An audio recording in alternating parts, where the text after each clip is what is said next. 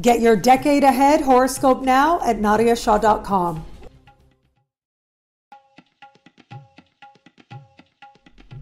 Hello, fabulous superstar Libra. Welcome to your horoscope for the month of August 2019, looking at life and love. I am your astrologer, Nadiya Shah. Thank you for being here. What an amazing month it is. We have an active and fabulous sky playing out right now, and there is so much promise, so much possibility, and it just gets better and better the later and later in the month we get. But it is rare to have two new moons in a single month like we do now. And this represents new energy, new possibilities and a sense of brand new beginnings. So that is a huge signature taking place of this month. But the nature of the two new moons, very different. And for you, especially how they will be experienced, be very different as well. So let's start with the first new moon. That is taking place on the first of the month. Now, you want to give or take a day on either side, depending on where you are on the planet. There are a few people who will experience this new moon very late in the day on the 31st of July. So, this is energy we are carrying into this month as we begin. And it is going to be this new moon that is happening in a part of the sky for you that has to do with friendships and groups that you belong to. Now, this new moon is happening close in the sky with Venus. That, in and of itself, is good. That is a very loving energy. New moons and full moons, for that matter, tend to carry an emotional signature. And so, love and emotion seems to fit very well together, right? However, it is going to be this new moon that is also speaking in a conversation of tension with Uranus. Now, this can suggest some feelings of frustration or some changes that might feel challenging at first, but they can also be really invigorating. They can motivate us to put in the time, to put in the work, to earn the change which we desire. Now, for you, this is happening in a part of the sky. As I said, it has to do with friendships, groups you belong to, group endeavors, whether personal or professional, are covered here. And it looks like you are wanting to experience change in your life. Now, it may be a desire to experience better uh, opportunities, better work related circumstances, better career related circumstances. It could very well be financial as well. There is a belief on your part that if it is that you participate with group endeavors, in some way it will benefit you financially, whether directly or indirectly. But there is this desire now, there is this focus now on wanting to make some progress where it comes to the people that you're connecting to and where it is that you are participating. Now, this can also take a more personal level as well. And I say this because of the position of Uranus. As I spoke of in the Uranus special for your sign, where Uranus is slowly but surely moving through is a part of the sky that, yes, has to do with financial matters. I covered that just now. But it also has to do with meaningful change and being more honest with yourself. And considering how it is that Uranus is speaking with this new moon, joining a support group of some kind might also be something that you are considering as we start this month. And so there is this challenging energy there, but also this promise that if it is that you're motivated, if it is that you put in the work, put in the time, you can experience profound change, the kind of which you probably will like very much, the kind of which that will allow you to be more you, allow you to step into a truth of yourself more than you have known before. And so this is energy that says and that asks you and encourages you to summon your own bravery, but also to strive to be honest with yourself about what you need. And the thing is, we are social creatures, we need people. And whether it is we need them uh, in order to expand the possibility of opportunities in our life, uh, whether we need them to expand the possibilities of prosperity in our lives, or whether we need them to feel well within ourselves to feel well and whole in terms of having a rich personal life.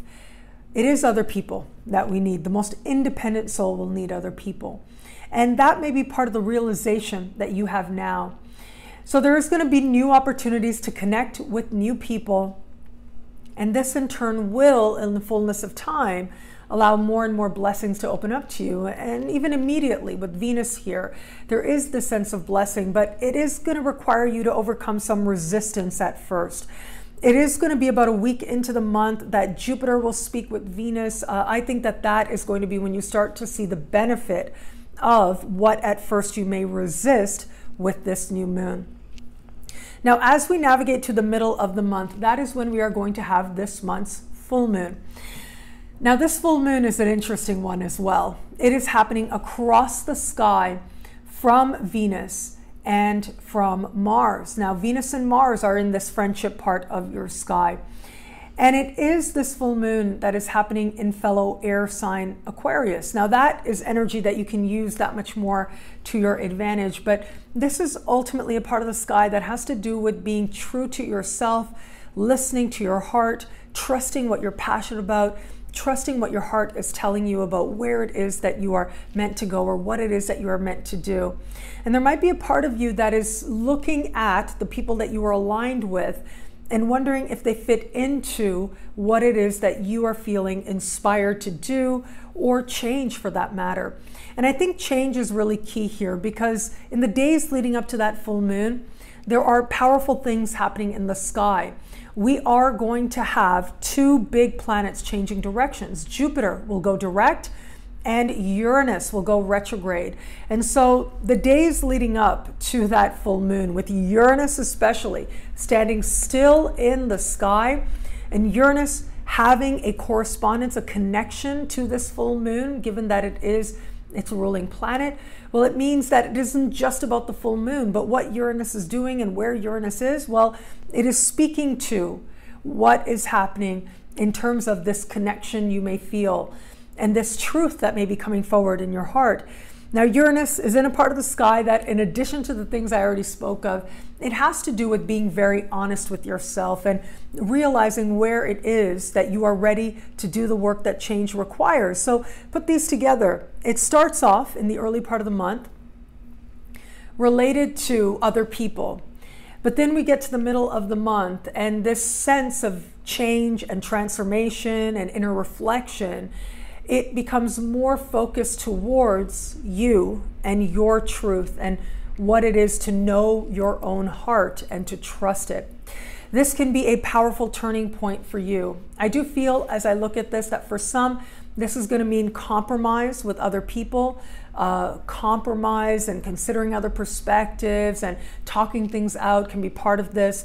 But for others of you, it's going to be weighing whether or not certain people still fit in with what it is that you feel you are meant to do at this point. And as part of that, there might be a desire to limit or restrict uh, connections, communications with certain people at this time. Now, it doesn't necessarily mean it's forever and ever because of course Uranus is going retrograde, turning within, which means that in the fullness of time, once we get into next year, Uranus will return to where he is right now under the light of this full moon. And so chances are it's not forever and ever. But if it is that you know, based on the journey that you're on, that you need to limit contact with certain people, it's okay to practice that level of self care.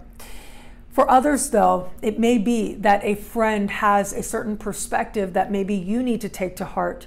Maybe it is that as a result of your uh, involvement in a group dynamic, you are growing in ways you hadn't expected and this is something that you need to understand more deeply as part of becoming this more authentic version of you. So it's a powerful time in the middle of the month, but because this full moon is in fellow air sign, you're able to tap into this energy and thrive. Now, it is at the end of the month that we have this beautiful new moon playing out that I'm so excited about. I feel like this is going to be a big high point moment for you. This new moon is happening hand in hand with Venus, Mars, and Mercury. So there's a lot of very concentrated energy here. And what this means is that what is transpiring isn't just about one area of life, but chances are it is going to speak to many areas of life. But more importantly, this new moon is speaking in supreme harmony with Uranus. Now, that is something I am really excited about that I'm really looking forward to because I think that that beautifully harmonious connection is one of luck, it is one of surprise, it is one of possibility. It is one that says things can change. They can change very quickly in ways that delight you. This new moon is happening in a part of the sky for you that has to do with closing karmic ties, ending karmic chapters, knowing what it is that has served its karmic purpose in your life. It has to do with karmic blessings as well. And it has to do with creating space for the new and the next to find you. Now, this is such important energy uh, for a few reasons. So, one is this is necessary, this sense of cleansing and creating space, because what it means is a month later, more specifically for you, next month, in the month of September, I'll be telling you all about the new moon in your sign. That's going to be your personal new year. And when we have that happen, it's almost as if, in order for the universe to allow all the wonderful new things that can find you at that time, it needs to set the stage by making space now. And that's what is transpiring with this new moon. Now, think about all the times when something ended and you were like really glad it was over. You were really, really grateful. You just felt like, oh, thank God that situation that is over, that person is gone, the, you know, people, places, things, situations, um, conundrums that you find yourself in, which we all do as part of moving through our world.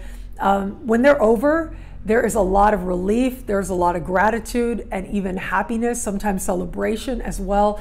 You may have that type of elation taking place at this time.